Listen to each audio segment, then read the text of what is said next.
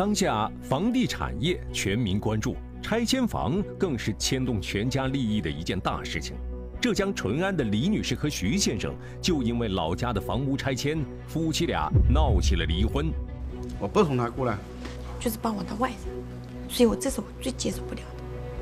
李女士解释说，事情因拆迁而起，在拆迁分配这个问题上，她和丈夫徐先生的意见相左，夫妻感情一度降到了冰点。对我们就不理不睬，不管我怎么去问他干什么，他就当我是隐形的，对我就不闻不不闻不问。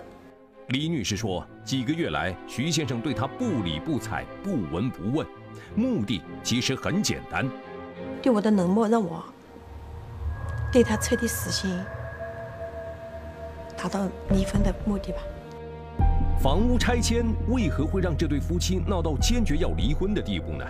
李女士解释说，这里面牵涉到一个人，徐先生的爸爸。在房屋拆迁后的分配这个问题上，徐先生的爸爸和李女士两个人意见不一致。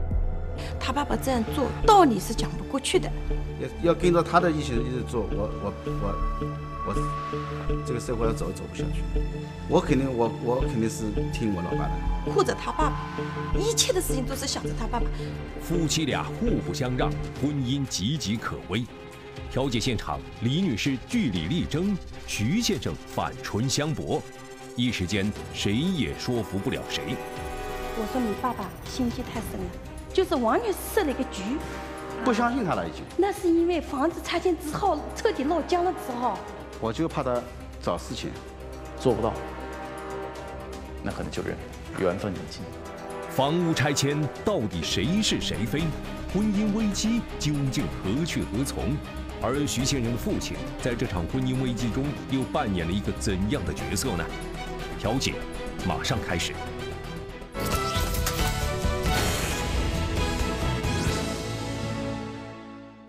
问题来调解，来调解没问题。各位好，这里是江西卫视金牌调解，我是张婷，欢迎本场调解员胡建云，欢迎胡老师，欢迎观察团各位成员，欢迎大家，也欢迎双方当事人，一位是李女士，一位是徐先生，欢迎二位。我们来了解一下两位当事人来金牌调解各自的诉求。我们这段婚姻继续走下去呢，我感觉不开心。就此结束了呢，我感觉我有太多的不舍。我的诉求就是离婚。那徐先生是已经下定决心了吗？对。徐先生态度坚决，离婚的想法他已经深思熟虑。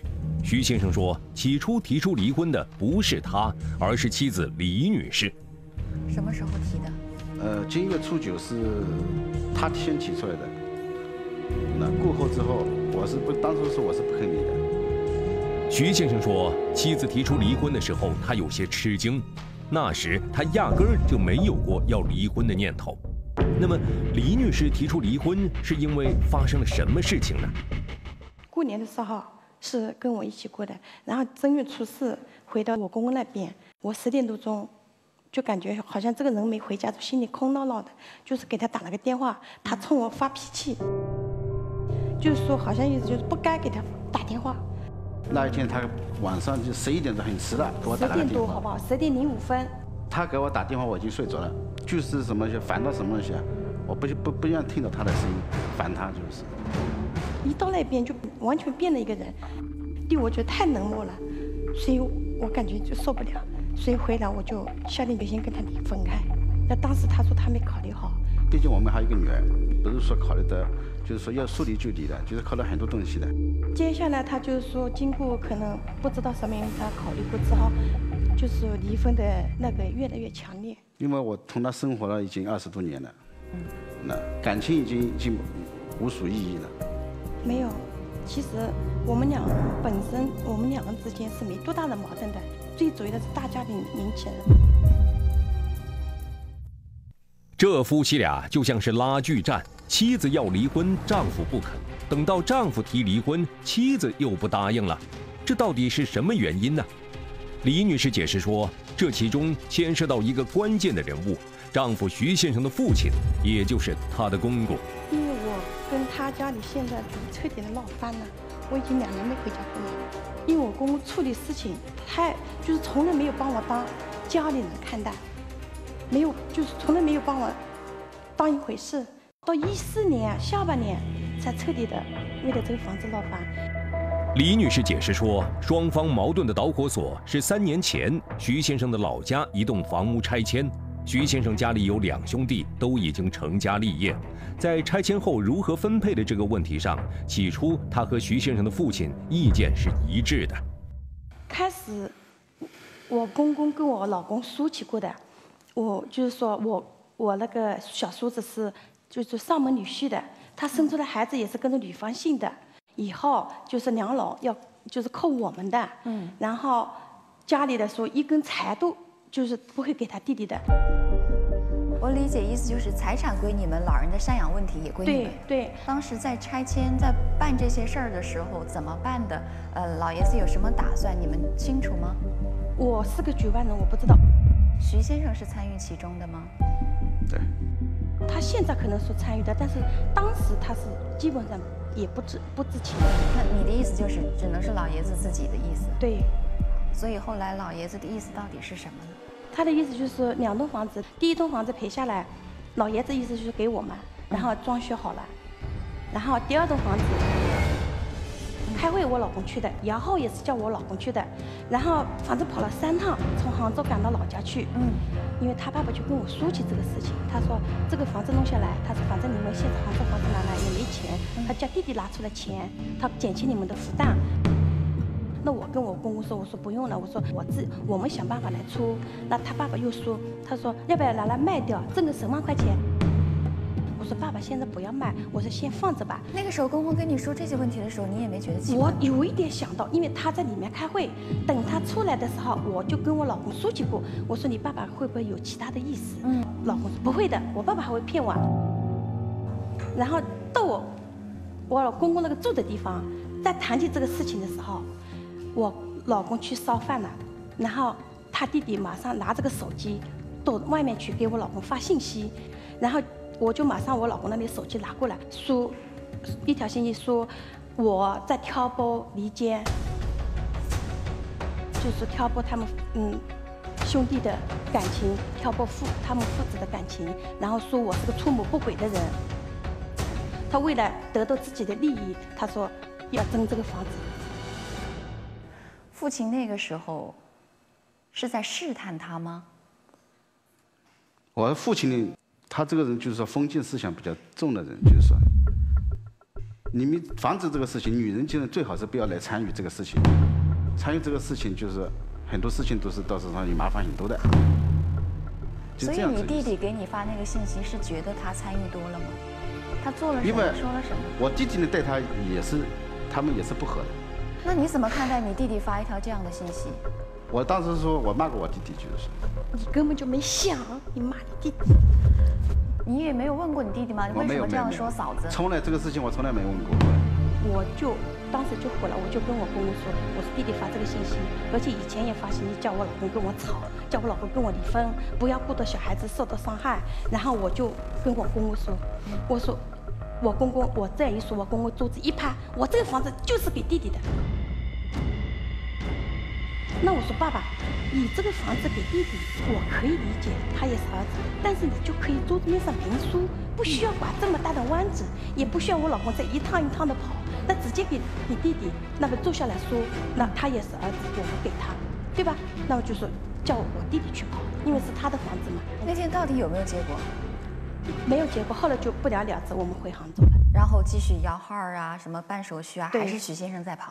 对。你以为这事儿就吵吵就过了？我以为我公公这个事情可能也就这样过去了，算了。好。然后就是说到最后的决定，他老爷子就是定下来，这个房子给他弟弟的。什么时候？那就是那挑房子挑好之后，就是这个房子是给弟弟的。连我老公当时都懵了。那我就跟我老公说，我我说你爸爸心机太深了，就是完全设了一个局。第二套房子分下来成了弟弟的，徐先生父亲的决定说变就变，这让李女士无法接受。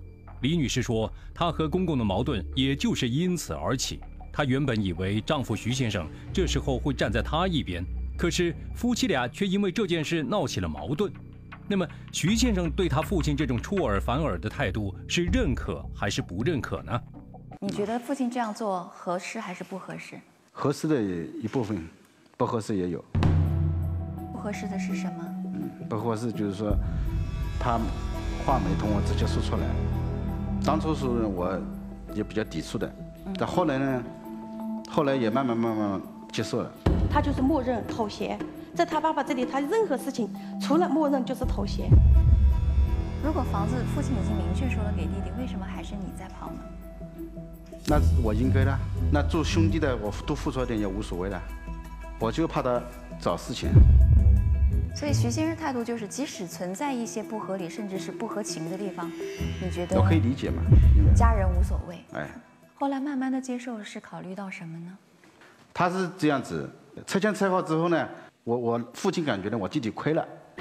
房子是两套房子，房子是大的一套房子是给我们的，我们三三个人，是这样子的。这是国家补偿给我们的房子。你不要谈国家，懂不懂？因为我在拆到镇上去的房子，东西都是我的，我弟弟没没没回来没地方落脚了。你父亲不是说过，因为弟弟的身份问题，所以财产本来就是你们的？话是说过了。这话是说过了，可是住我父亲没按照这个方面去做。他有告诉你为什么他的想法变了吗？我的估计呢是这样子的，因为因为我老婆呢，我我父亲不要看他了，那财产全部给我们，他养老送终，对不对？我老婆有没有这个心？问题是这样子。就是说，父亲不相信他，不相信他了已经。那是因为房子拆迁之后彻底落江了之后，你爸爸才有这个想法，好不好？爸爸为什么会不相信他？因为他这个人做人，我能说，不孝敬父母。徐先生解释，父亲前后两种不同意见是事出有因，为此他还给妻子冠上了不孝敬父母的名头。他此言一出，立即遭到了妻子李女士的反驳。李女士说：“她和徐先生父亲的关系的确一直不太好，但因此说他不孝敬父母，她表示不服。我对我婆婆可以说还好，对我公公总感觉有有一定的距离，因为我公公总他是看上不看下的，因为他弟弟是教书的，又弹钢琴的，各方面的收入比我好，我是一个没文化的。你觉得他看不上你？对，看不起我。”我婆婆生病这么多年，我每年给她买衣服，连洗头、洗脚，是吧？我真的，我亲妈都没享受我这个待遇。李女士说，婆婆常年瘫痪，十多年来都是她悉心照料。虽然公公对她有偏见，但她以前对公公也没有不敬之举，唯独这回因为房子拆迁的问题，他破天荒第一次向公公提出了反对意见，结果公公发飙了。到过年的时候，他爸爸就抓住我回家过年这个机会，就是想来替他弟弟来到我这里出气，讲出三个理由。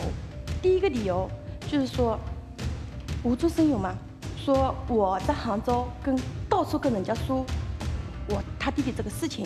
然后第二个事情说，因为当时不是拍桌子的时候，然后呢我们喉咙一响，那我想。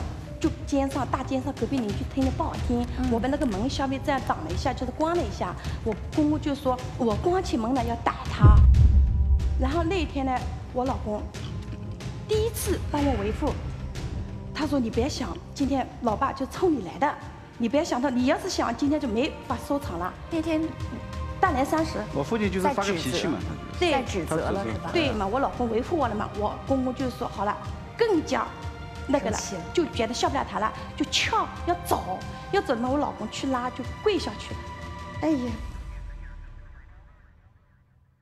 你觉得公公这一这一次是就是帮他弟弟来出气，针对你的，对，故意的。也不是说帮着我弟弟来出气，他就就是就是单纯是就是不想看你，懂不懂啊？为什么？为什么徐先生？哎，因为。我我我父亲这个人呢是脾气是很犟的，啊，你看到他，不就是为了这个房子从你或者不要看我吗？是啊，因为我父亲呢，什么东西呢？他脾气犟呢，我可能有七十多岁了，年纪也大了啊。就是说，我们一直的小时候到现在一直比较尊敬他的。就我对他呢，就是说也不敢吵这个事情。只能用下跪的方式向父亲赔礼。对对对对对对对。你怎么看待徐先生对待他父亲这一点？我觉得他太软弱了，因为我觉得有些事情能处理好才是一个融洽的。如果处理不好，事情就越来越僵，越来越僵。他欠缺的是什么呢？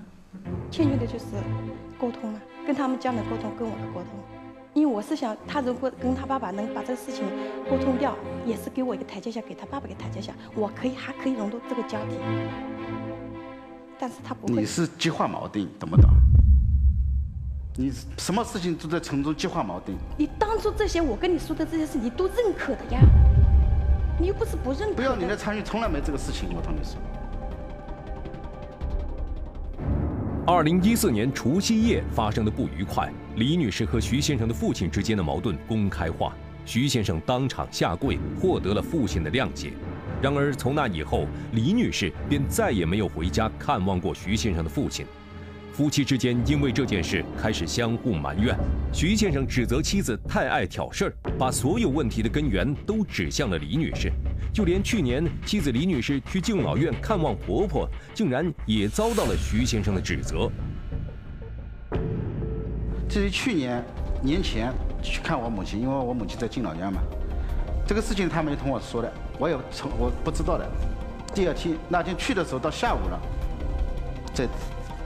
这下午看你母亲难道不是一个好事吗？我觉得是不应该去看。为什么？嗯，因为他瞒着我，他这个事情是做给我看的。嗯，我不能理解什么意思。你如果是光明正大的去好了，你同我打个招呼啊，对不对？不打招呼去会有什么问题呢？在那为什么到镇上呢？你我父亲这里我他都不去一下？不想去啊？对不对？为什么不想去啊？就是不想去啊。你的意思是只看了你妈妈没看你父亲就是不对的？哎，他去看你妈妈，到底在你看来是好的还是不好的呢？好的。那为什么刚才你说就不应该去呢？哎，激化矛盾了吗？哼。如果没有看父亲，只看了母亲，就会激化矛盾，是这意思吗？他不该同我母亲说原先什么什么东西都翻出来，同我我母亲。也就是说，在你们家人心里还是。不愿意听到或看到他提到再提房子的事情，哎，只要跟这个有关，都认为是在激化矛盾的。就是等于他们全家都以为我在挑，就是挑事情、找事情，然后到最后我老公还不理解我，就是我接受不了。徐先生，现在你们家里，你父亲也好，你弟弟也好，对待他的态度是什么？就是我父亲那会儿是到现在已经给他，就是看他已经不要看了，已经，哎，已经很反感了看到他。去年跟我姐姐他们说起来，我说毕竟是他爸爸，让时间来淡忘这一切。嗯。等他老了需要我的时候，我不可能不去的。对我来说，他比较强势一点，我接受不了他，那我不愿意看到他，就是变成这样子。他永远都。总以为什么事情都是自己对的，动不动就能冷暴力。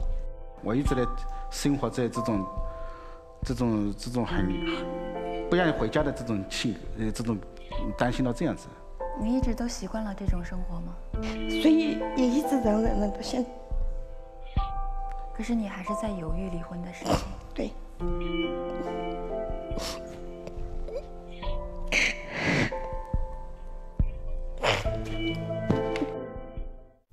李女士心有不甘，她伤心委屈，面对下定决心要离婚的丈夫，却倍感无奈。身为儿子和丈夫这个双重角色，徐先生看似强硬的态度背后，也让人感觉到了他的左右为难。房子拆迁分配的问题还没解决，婚姻却走向了十字路口。金牌调解团队的调解员和观察员们，此时又会为他们提供怎样的意见和建议呢？李女士啊。我先帮你解开一个心结，其实你一直都不知道，也不明白，到现在此时此刻为止，为什么公公和这个小叔子一直都会认为你是一个挑事儿的人。但是你再回想一下自己说过什么样的话，你对你的老公肯定说过，能不能通过立字据、赡养的问题写清楚、写明白？那只是随便说了一句，我说没有。不，说者无心，听者有心。但是其实，假使你心里这么想，你提出这样的要求合适吗？第二点，当房子在开始摇号的时候，你特别的上杆子，因为公公已经说了这个房子给你了，是吧？但这个时候你不觉得你的动作，你的指向性太明确了，明确的让人觉得有点势利吗？所以遭到了公公、小叔子对你的一种偏见或他们的主观认可也好。所以任何事情事出有因，你的表象上面给别人传递的信号是这种，我们都认为你说的有道理，是哥哥弟弟都应该有房子，你都不去计较，是，而事实上你说的和做的完全是两种表象。我不得不承认的就是你在这个家的确很辛苦，在很多地方你都喜欢出头。甚至步伐比你老公还要快，所以我觉得你应该去想一想这些问题。男方，我觉得我要好好先问问你，你刚刚在讲，父亲他是有封建思想的，理解，但是你封建吗？你不应该封建呐，对，但是你在很多处理问题的方式上封建，你不要问。你不要管，我会处理。但是在现代家庭当中，您觉得还有这样的家庭吗？因为有些东西，我想，你觉得就可以这么带过去？对。可事实你也知道啊，不了了之的背后就是彼此心里都不痛快，你带不过去。你看他的心声怎么样？你有没有问过自己，我的这种处理家庭关系或处理情感关系的不了了之的态度，能不能彻底的解决问题？不要一了了之了，了不过去，该面对的问题用男人的肩膀责任去担当，该处理的就去处理，该面对的就去面对，否则这个雪球越滚越大，最后真的就是不了了之了。呃，我觉得你的这个呃伤心和委屈啊，呃，很大的程度上有一个你的认知问题。那你觉得你丈夫很窝囊、很妥协也好，你就要去点醒他，去指导他。如果你一味的去这样做，所谓的伸张自己的权利，呃，觉得很委屈的话，那么你这个主体状态可能就有错误。所以主体的错误，你就会导致自己很多角色的尴尬。这个房子的问题。你公公曾经说过，小叔子一定是这个到别人家去的人，所以没份。然后这个房子，只是你你们两夫妻，啊，所有，你小叔子没有份。那么这个口头的说法，它究竟有没有法律效力？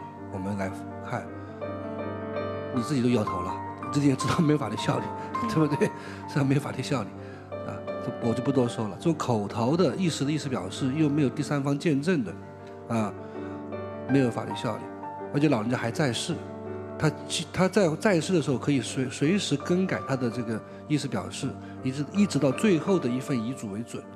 所以我建议你呢，总体上建议呢，就是说你心态超脱一点，这样慢慢的跟你丈夫去沟通，好不好？李女士，你很不幸，并不是因为这个家庭多么的针对你，而是从某种意义上来说，这个家庭。有他们家庭的一个模式和系统，可是因为您的出现，这个系统被打乱了。这个系统是什么？在这个家庭里，如果说父母在感情上有一个偏重，父亲应该是更疼爱小儿子的。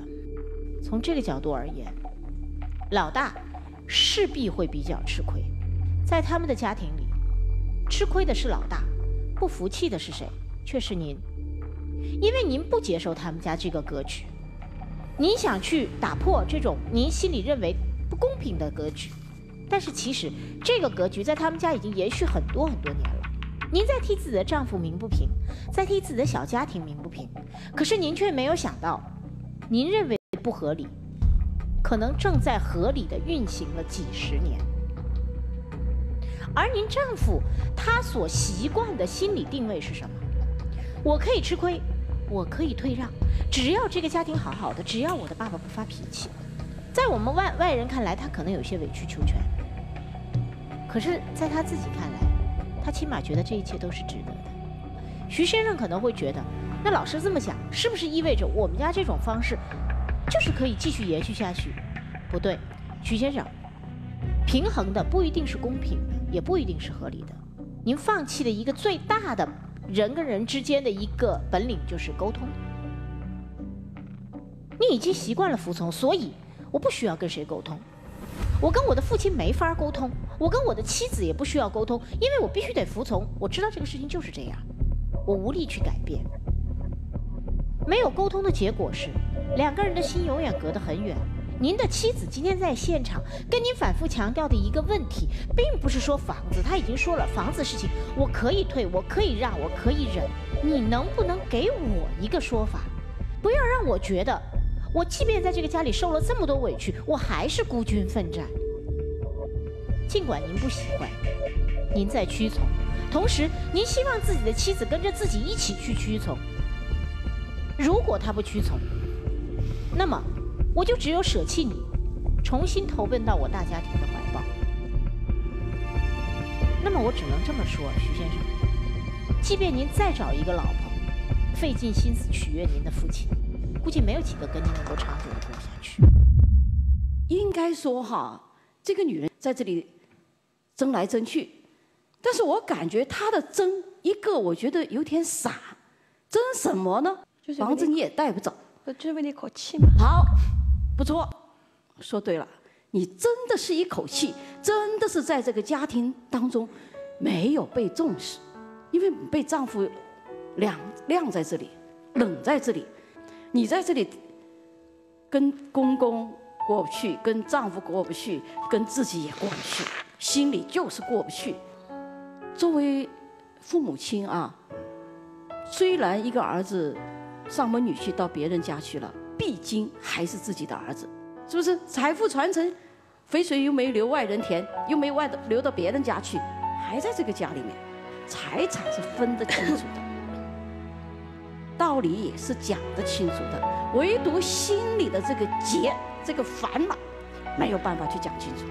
矛盾好像出在土地呀、房子上面，实际上问题出在你们两个人的情感上。实际上你们两个人都不想分开，都不想离婚，都有感情，只是都憋了一口气而已。你整我，我在整你，整来整去，整到了自己。是不是好端端的一个家庭，干嘛要去离婚呢？干嘛？不至于，对不对？呃，我在场上听的最多的就是我是对的，还有第二个特点就是，你们都不愿意做出改变，不愿意做出改变都是前提在那儿。我认为我是对的。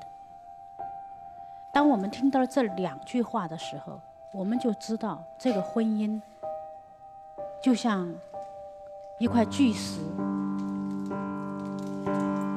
在这个岁月里被不断的风化一样。既然我是对的，你又不懂，你也听不明白，我就不跟你去分享。于是男人在场上公然的说：“我不愿意再跟你分享任何我的心里的感受。”在这个二十年的婚姻里面，你是否尝试过理解？你要对方去理解你，你是否尝试过理解对方？甚至你高傲到我不要你理解我，你只要听话。你要知道，如果一个人不能够理解的话，是做不到听话的。他不能够理解，他只能够充满委屈的站在旁边，积累他的愤怒。到有一天找到一个出口的时候，他就要跟你顶着杠，所以，请你给一点时间给他，让他学会理解你。所以，其实你们婚姻之所以经营到今天，不是因为女人太过于强势，也不是因为男人的声音有多么的大，而是因为你们缺乏一份耐心，聆听对方的声音。在情感中，他最需要的就是学会理解、宽容、接纳你。我心里最纳闷的就是，你还没来得及学会怎么样关爱身边的女人，然后你去嫌弃她的这种因为内心压抑而而造成的情绪化，我觉得是不公平的。个人觉得是不公平。也许我们这些话决定不了你最后的选择，徐先生，但是这种不公平，我认为会成为你们家一个不太好的回忆。所以这个时候就会谈到感觉和责任的关系问题。我们感觉很多时候也会不好，我们自己都有婚姻，也会有这种感觉。但是责任摆在哪里呀？是吧？那不是婚姻，就像我们跟工作、跟职业一样，我们也会有不舒服啊。那对不起，不是你说走就走，责任摆在哪里呀？那我们也对工作有很多看法，但你就得坚持。但是。工作是这样，你可以一走了之，反正就那样了。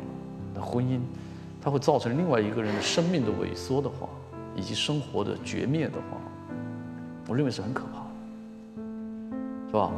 我们说少了我们地球照样转，但家跟地球不一样，地球还真的是转的，靠转就行了，但家转不得。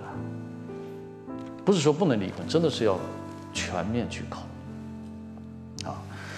所以我把这些东西我们这么一说，哦，希望徐先生多一点考，多一点思考，啊，那李女士的话，按你的个人经历来看世界、看生活、看他人，所以你在处理很多矛盾的时候会显得比较简单，比较的带刺，让别人觉得啊，跟这个人相处是不愉快，所以你是要确实要学习和调整，这个大家都有建议，怎么样让这种比较。可亲的一个形象，来搭配你内心这种强大的责任感，你对这个家是非常有责任感。如果你改变不了这一点，别人跟你相处很难，那道理有纵有一千条，其实也没有办法，也不能怪别人。两位可能都有一些新的要去想一下，并且做调整的地方，做不到，那可能就认，缘分已尽。调解员胡建云建议双方都做出调整。处理大家庭矛盾之前，首先夫妻之间要做到相互理解、读懂对方。接下来，双方进入密室调解。密室里，李女士告诉观察员廖喜玉，自从她和公公两年前彻底闹翻之后，丈夫徐先生对她采用的方法是冷暴力，就是不理你，你问他他就摇摇头或者点点头，要不就睡觉，就是不理你，客厅回家睡觉。不回家也不跟我联系，他想怎么样就怎么样。对，李女士说，丈夫徐先生的这种冷暴力行为越来越严重，这让她几乎受不了。但是她考虑到他们的女儿即将面临高考，在这个关键的时刻，她不想离婚。一个重要的考量还是怕影响到孩子。从来没有说安慰我一下、关心我一下，真的没有。所以为了女儿，我一直坚持到现在。然后他总喜欢把我的不好的一。方面展现他家人面前，导致了我们两个矛盾越来越深，越来越深。李女士说，丈夫徐先生近期在创业，面临的压力比较大，但家庭矛盾无疑增加了她的心理负担，这也是她迫切需要调解的一个主要原因。所以你是很爱这个男人的，她创业是很艰辛，也很辛苦，好吧？你也改变一些方式，愿不愿意？你也愿意做调整吗？我就选择做最后的努力来调节一下。李女士承认，一个巴掌拍不响。丈夫的这种冷漠也有他自身的原因，她表示愿意做出调整。而徐先生了解了妻子的想法后，离婚的态度也发生了改变。如果你们这种关系不改善，最后是干什么的？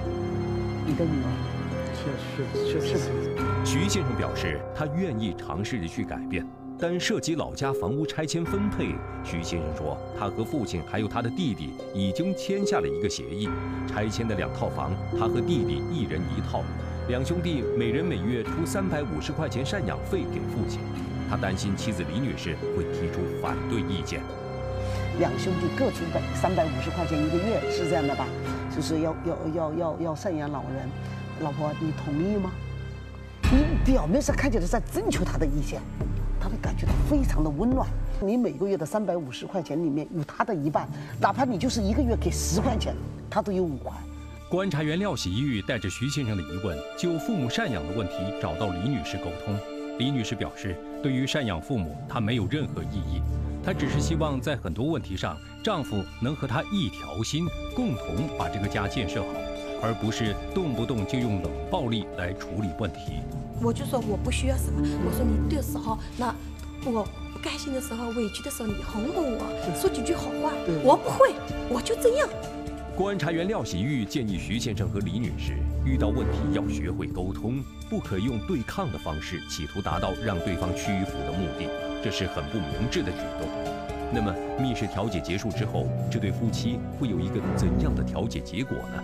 婚姻十字路口的他们，最后会做出怎样的选择？答案即将揭晓。为了孩子，为了这个家。可能以前做的不到的地方，我愿意做出改变。希望我老公来跟我一起去见面对这些困难。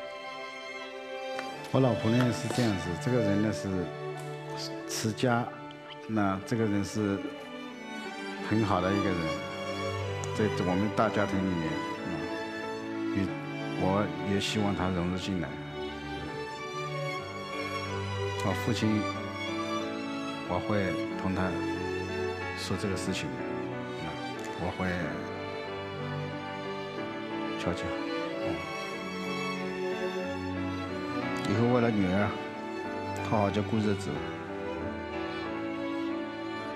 这非常感谢，真的，我觉得不管以后的路能成功还是不成功的走下去，我觉得这来了这一趟还是值的。谢谢，真的。嗯，谢谢。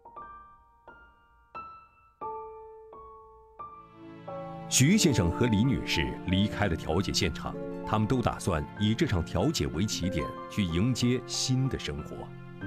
很显然，摆在他们面前的还有很多现实中的难题，特别是李女士和徐先生的家人之间的矛盾，不仅需要时间去弥合，更需要徐先生和李女士一道做出更多的努力。他们夫妻之间只有彼此理解、齐心协力，才能让这个家变得更好。而冷暴力不仅解决不了任何问题，它只会加大感情的裂痕，驱走所有的温暖和爱。